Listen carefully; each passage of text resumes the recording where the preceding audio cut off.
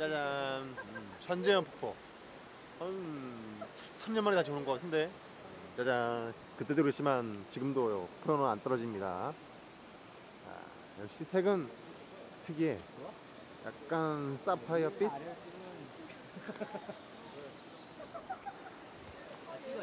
재밌습니다 짜잔 음. 그렇지